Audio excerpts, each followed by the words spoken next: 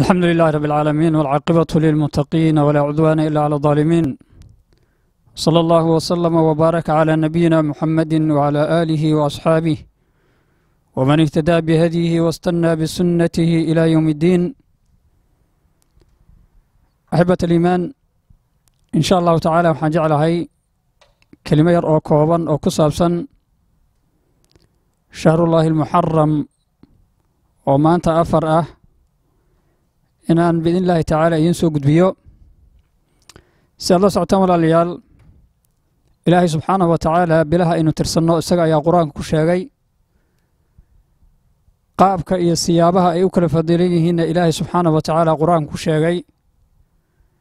Nabigana calayhi salaatu wasalaam sunnadiisa ayuu ku caddeeyey. Sidoo kale allah wuxuu leehay subxaanahu wa tacaala ina ciddata shuhuuri cinda allaahi itnaa cashara shahran ina ciddata shuhuuri cinda allahi itnaa cashara shahran fi kitaab illaah yowma khalaqa asamaawaati waalarda minha arbacatun xurum dalika diinu alqayim falaa tadlimuu fiihina anfusakum allah wuxuu leehay subxaanahu wa tacaala bilaha tirsigoodu kitaabka alle subxaanahu wa tacaala dhexdiisa waa labiyo toban bilood waxaa ka mid ah afar bilood oo xurmo leh waxaa ka mid ah afar bilood oo xurmo leh afartaa bilood ee qur'aanku si mujmalka sida mujmalka u sheegay nabiga calayhi salaatu wasalaam ayaa si tafsiila u sheegay magacyadooda dabcan sunnaduna waxay sharaxdaa kitaabka qur'aanka wixii uu ijmaaliyey. Nabigu wuxuu yihi calayhi salaatu wasalaam ina zamaana qad istadaara ka hay'atihi yowma khalaqa asamaawaati waalardi minha arbacatun xurum zamanka wuxuu u wareegay ama u wareegayaa sidii ilaahay u abuuray subxaanah wa tacaala laga bilaabo maalinka adduunka iyo dhulka iyo cirka maalinkii la abuuray. Waxaa ka mid a bilaha ayaga waa biluhu waa labiyo toban waxaa ka mid a afar bilood oo xurmo leh. Nabig wuxu uhi sala allahu alayh wasalam dulqicda wadulxija wa muxaram wa safaru mudara alatii bayna jumaada wa shacbaan afarta bilood ee xirmada leh qur'aanka lagu sheegay ee ilaahay uu yidhi minha arbacatun xurum.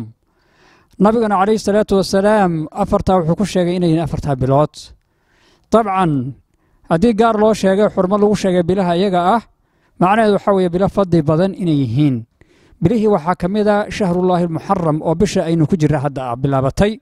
Maanta oo axadana afar maraysa sanadka hijriguna waa kun afar boqol soddon iyo sagaal buu noqday. Afar beri ka hor taariikhda islaamka iyo tirsiga bilaha islaamka qofka muslimka inuu bartaay waa muhiim. Maxaa yeele waxaa ku xidhan diintiisa iyo cibaadadiisa baa ku xidhan waxaa ku xidhan axkaamtii isaga ku tacalluqday baa ku xidhan sidaa darteed baa muhiim u tahay qofku inuu barto inuu la socdo axkaamta ku jirta inuu ka faa'iidaysto waxyaabaha ku jira saasaa loo baahan yahay. Bilaha ayaga xurmada ilaahi subxaanahu wa tacaala uu noo sheegay mid ka mida baynu ku jiraa bishaana nabiga caleyhi salaatu wasalaam fadli badan buu ku sheegay.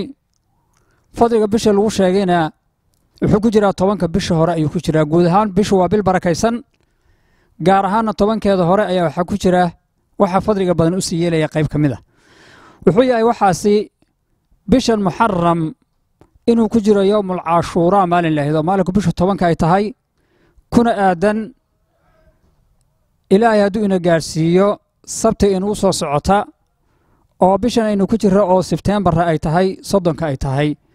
Maalinka isaga ah nabiga calayhi salaatu wasalaam yowma cashuraa kaana yasuumuhu sala allahu calayhi wasalam wa amara bisiyaamihi dadkana wuxuu amray in la soomo nabiguna waa soomi jiray calayhi salaatu wasalaam qabla ramadaan buu nabigu soo jiray sala allahu calayhi wasalam culimmadu sida ay leeyihiin ramadaanka ka hor isagaaba waajib ahaa ramadaan markii la fardiyey sannadkii labaad hijriga oo madiine la joogay markaas baa nabiga calayhi salaatu wasalaam u sheegay dadka waajib inuu ramadaan ku yahay tii kale oo horey loo soo soomi jirayna qofkii raba inuu soomayo khiyaar la siiyey.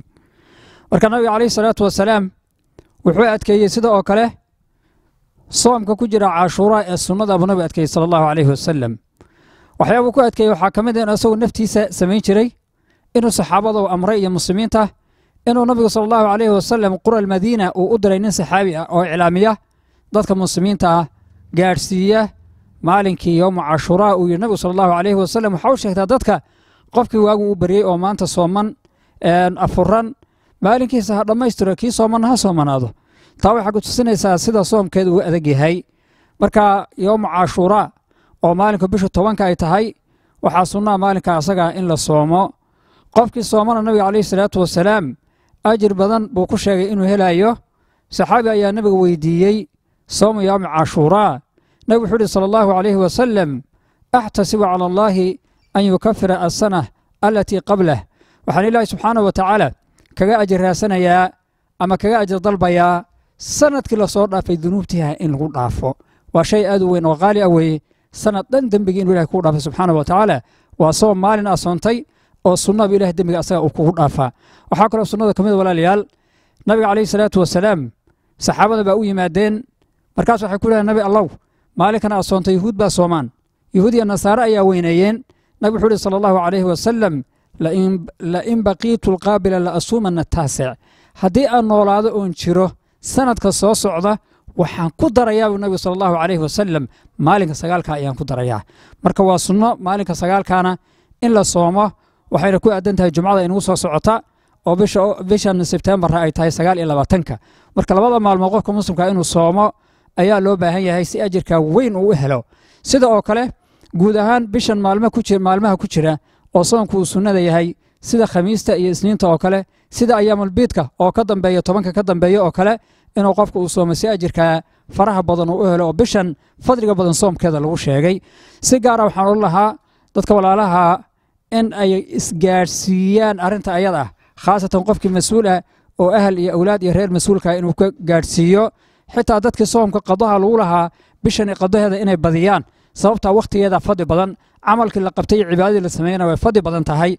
Marka inaan ku dadaallo oysa fakanin dembi dhaafkaa sanadka lagu helayo ayaa aad iyo aad runtii muhima idinkuna boorinayaa. Ha laga faa'iidaysto baaraka allahu fiikum.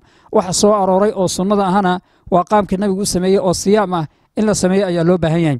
Cibaadaadkii kale oo ama sadaqa leh ama qur'aan akhris leh ama macruuf kale iyo biri kale leh qofka waa u furan tahay waa wakhti fadilan waa wakhti fadli badan. Ilaahina subxaanahu wa tacaala wakhtigaa fadliga badan cibaadadii la sameeyo fadli buu ilahay geliye subxaanahu wa tacaala marka aynu ka faa'iidaysanno maalmahan iyaga ah ee qaaliga ah ee aynu ku dhex jirro qaarkoodna ay inugu soo socdaan. In aynu ka faa'iidaysanno ayaa aad iyo aad muhima. Kelimadeenna maantana waxay ku socotaa arrinta waxaa ku soo gabagabayn lahaa dadka muslimiinta ah inay bartaan bilaha islaamka axkaamta ay ku xidhan tahay. Awlaaddooda iyo carruurtoodan inay baraan oo ay ogaadaan bilaha islaamka iyo waxyaabaha ku jira. Arrintaa muhiim weeye. Haddii aadan bilihii la soconin haddii aadan waxa ku jiro axkaama aadan ogeyn dee waxba kama faa'iidaysan karaysid? Maalmaha ku maraya bilaha ku maraya bay kuula mid yihiin. Laakiin innaga islaamkeennu iyo diinteennu sidaa ma aha. Biluhu waa kala fadli badan yihiin maalmuhu waa kala fadli badan yihiin saacaduhu waa kala fadli badan yihiin habeenadu waa kala fadli badan yihiin qaybaha habeenka ayaa kala fadli badan. Amaakintu ilahay kala fadilay subxaana wa tacaala aadamihii buu kala fadilay inaan marka baranno meelaha fadliga badan iyo waxay ku fadli wixii ku jiro cibaadana marka aan la nimaadno. Sidaasaa loo baahan asal allah subxaana wa tacaala biasmaa'ihi alxusna wa sifaatihi an yajcalana miman yastafiiduuna hadihi alfursa ilahay dad ka faa'iidaysanaya jaaniskan ilahay nagu daro soomkeedana ilahay hana waafajiyo thawaabkeeda iyo ilahay hana siiyo subxaana wa tacaala jazakum allah khayran baarak allah fiikum sala allah wasalam wbaarak calaa nabiyina maxamedin wacala aalihi wasaxbihi wasalem